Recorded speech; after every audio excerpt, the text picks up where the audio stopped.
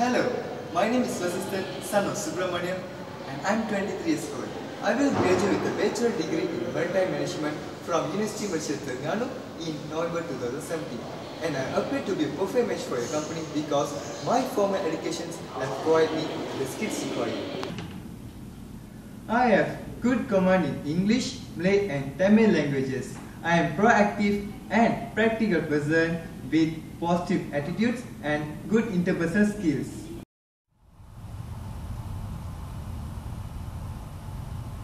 During my time in university, I held positions such as EXCO of Activity and Performance in Cultural Club. I have been actively participating in many events organized under club such as entrepreneur programs, cultural night and also voluntary activities.